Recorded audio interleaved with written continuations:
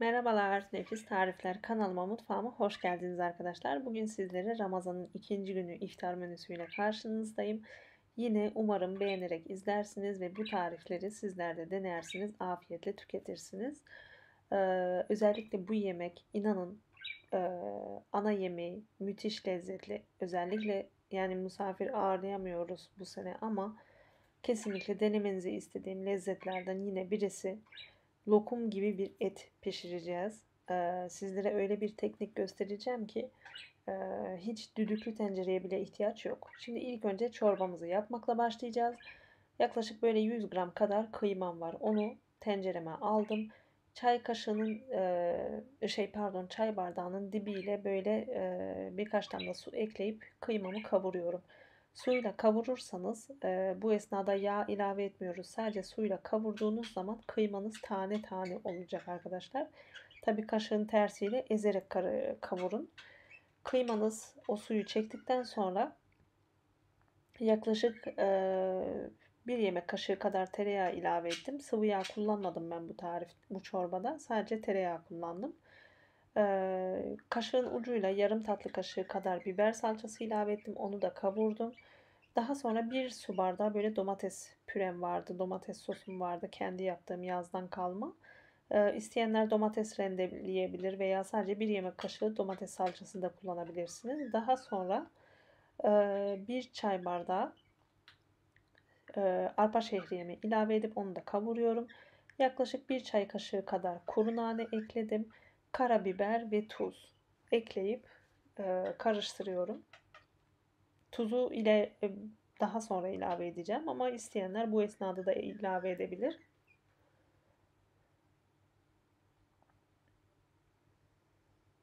Çocukların en çok sevdiği çorba benim arkadaşlar. Bayılıyorlar bu çorbaya. Sizler de kesinlikle deneyin. Özellikle küçük çocuklarınız varsa mutlaka deneyin. Kaynar suyumu da ilave ettim. Gördüğünüz gibi. Hiç un vesaire başka hiçbir şey eklemiyoruz. Çorbamız zaten kendiliğinden kıvam alacak.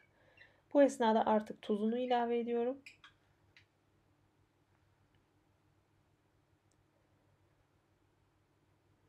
Bilenler vardır muhakkak aranızda ama bilmeyenler için bu çorba gerçekten müthiş bir lezzet. Kesinlikle deneyin. Çorbam pişti. Gördüğünüz gibi arpa şehriyeler yani şişince tamamdır. Çorbamız hazır. Servis ederken üzerine bol pul biber acı, acı seviyorsanız ve bol limon sıkın. Ee, öyle tadına varın. Gerçekten müthiş bir çorba. Şimdi geçelim ana yemeğimize. 3 parça, 3 parça böyle büyük dilimler halinde antrekotum var.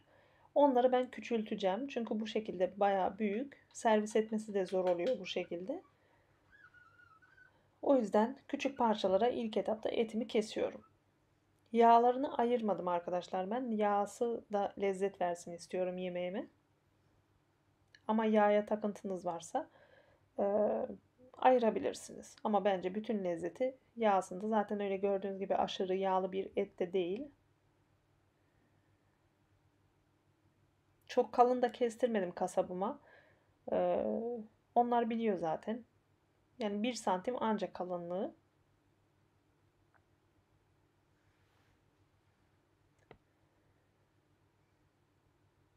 Bonfile etiyle de yapabilirsiniz bu göstereceğim tarifi. Ben antrikot kullandım. Gördüğünüz gibi etlerimi hazır ettim. Geçebiliriz yapım aşamasına. Ee, geniş bir tavaya biraz sıvı yağ aldım. Isındıktan sonra etlerimi tek tek böyle arkalı önlü ilk etapta ilk etapta mühürleyeceğim yüksek ateşte. Kızartacağım. Ama içleri pişmeyecek arkadaşlar. Bu e, etin suyu içerisinde kalmasını sağlayacak ve lezzetli olmasını sağlayacak. Her iki tarafını da yaklaşık en az 2 dakika kızartıyoruz. Tek sefer çevirip daha sonra bir tabağa aktaracağız ve üzerine tuz ve karabiber serpeceğiz. Bütün etlerimi aynı şekilde kızartıyorum. Daha sonra tekrar yağ ilavesi yapmadım ben arkadaşlar. Yeterli geldi. Etlerin kenardaki etleri unutmayın pişenleri kızaranları daha doğrusu tuzlayıp karabiber serpin.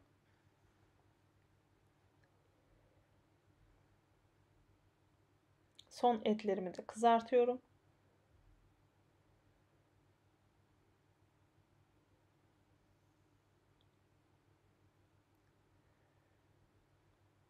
Ve direkt aynı tavada çünkü etin bütün lezzeti tavanın dibinde kaldı. Ee, yaklaşık bir yemek kaşığı kadar tereyağı ekledim. Böyle tereyağım eriyince tavanın dibinde kalan o etin e, yanan kısımlarında alıyor beraberinde ve inanılmaz lezzetli oluyor. Daha sonra bir adet küçük soğanım vardı. Onu ikiye dörde kesip bir de sarımsağım vardı. Onu da ikiye üçe kesip ekledim. Böyle büyük halde. Kesinlikle ince yemeklik doğramadım. Bir tatlı kaşığı kadar da domates salçam vardı. Onu kavuruyorum. Bu esnada artık e, bir su bardağı et suyu ekliyorum. Eğer elinizde hazır kendi yaptığınız et suyunuz varsa çok güzel olur. Onu kullanın. Ama ben bunu kullandım. Fransa'daki arkadaşlar için gösteriyorum. Ee, bir nevi et bulyon gibi bir şey. Sıcak suyla açıyorsunuz kıvamını. Şimdi kızartmış olduğum etleri kaynamış olan suya ekliyorum. Bu bir bardak su yeterli gelmeyecek arkadaşlar. O yüzden tekrar biraz kaynar su ilavesi yapacağım üzerine gelecek kadar.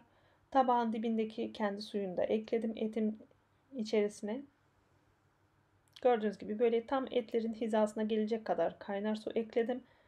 Kapağını kapatıyorum ve e, o orta ateşin bir altına getiriyorum. Yani tamamıyla tam kısık değil. E, orta ateşin bir altına getirip pişmeye bırakıyorum. Etim pişerken ben de fırında patates graten hazırlayacağım. Patateslerimi böyle güzel bir şekilde yağladığım borcamıma diziyorum.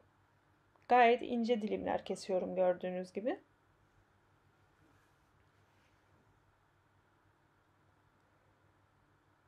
Patates yaptığım için pilav, makarna yapmadım arkadaşlar.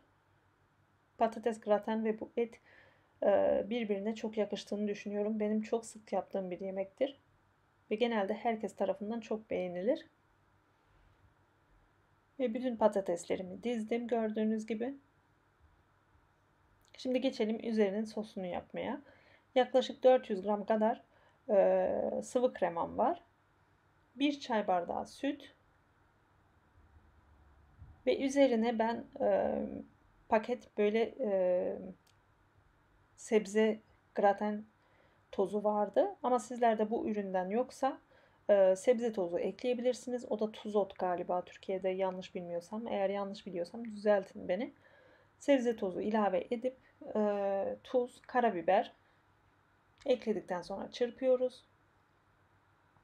Ve bu e, karışımı patateslerin üzerine döküyoruz. Fırınımı da 200 dereceye açtım. ısınıyor. Bütün sosumu döktüm. Bir yağlı kağıt kullanacağım. Onu sudan geçirip böyle elimle sıkıyorum ki üzerine kapatması kolay olsun.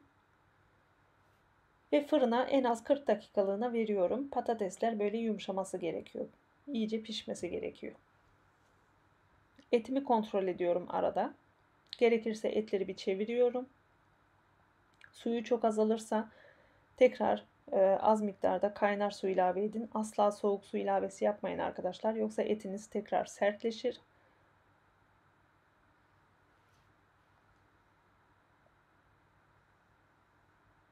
Ve kapaklı bir şekilde pişirin. Şimdi geçelim e, salata sosunu nasıl hazırlıyorum. E, bir küçük e, cam kutunun içerisine sıvı yağ, ve sirke koydum. Daha sonra biraz mayonez böyle bir dolu tatlı kaşığı kadar. Ben paketin dibine gelmiştim o yüzden biraz zorlandım. Ee, yaklaşık bir dolu çay kaşığı kadar da hardal. Bir paket toz salata sosu. Sanırım bu üründe eğer artık hemen her yerde bulunuyor. Ama eğer yoksa da hiç sorun değil. Hardal ve mayonez çok güzel lezzet veriyor. Tuz ekledim ve çok hafif böyle yumuşatması için Birkaç damla süt ilave ettim. Bunları güzelce çaykalayacağım. Salata malzemelerimi zaten doğradım, hazır etmiştim. Salata sosum hazır. servis edinceye kadar kenarda bekletiyorum. Patateslerim pişti. Yumuşayıp yumuşamadığını çatalla kontrol ettikten sonra e, üzerine son olarak kaşar peynirini ekleyip fırında kızarana kadar tutuyorum. Zaten patateslerim pişmişti. Bu aşamadan sonra 10 dakikanın içinde çok güzel bir şekilde kızardı gördüğünüz gibi.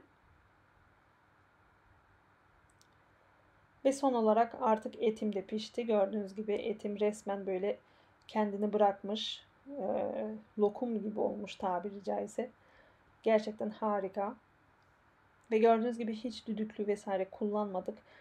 E, mühürleyip e, böyle kısık ateşte ağır ağır pişirmek çok önemli. Ben bu eti yaklaşık 2 saat gibi bir sürede pişirdim arkadaşlar. Yani minimum 2 saat böyle güzel e, lokum gibi pişmesini istiyorsanız 2 saati geçik yani en az 2 saat tam geçmese de 2 saat pişirmeniz gerekiyor.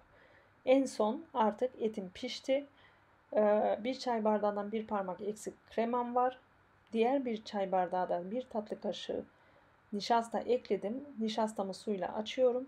Bunu sosumuz böyle e, etimizin suyu kıvam almasını sağlayacak. Sos haline getireceğiz.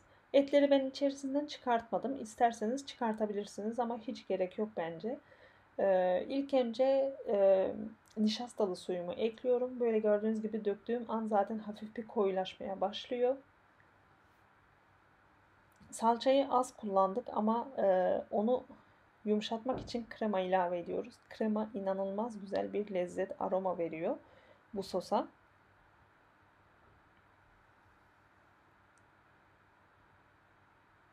Güzelce böyle elimden geldiğince etleri fazla ezmeden karıştırıyorum.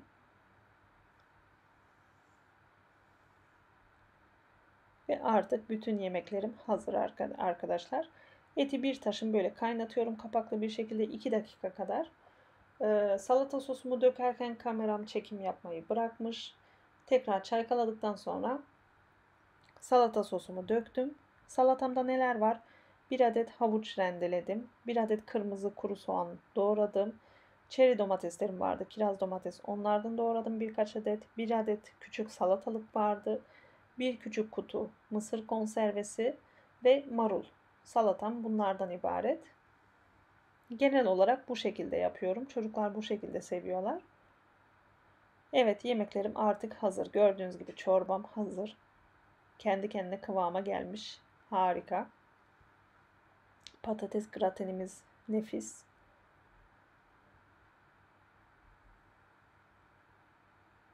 Et yemeğimiz de harika. Ve tabii ki salatamız. Salata sosunu özellikle deneyin. Beğeneceğinize garanti veriyorum. Şimdi sizlere ana yemeğimi nasıl servis ettiğimi göstermek istiyorum. Böyle bir kurabiye aparatım var. Tabii ki normal kesip e, servis edebilirsiniz. Ben hafif böyle yuvarlak olmasını istedim. Tam soğutmadığım için kendini çok fazla çekmedi. O yüzden tam istediğim gibi yuvarlak şeklini alamadım. Sizlere tavsiyem yani soğuk servis etmeyin ama benim gibi çok aşırı sıcakta servis etmeyin. Şimdi etimi de yanına alıyorum. Ve sizlere yakın çekimle etin ne kadar güzel lokum gibi piştiğini göstermek istiyorum arkadaşlar.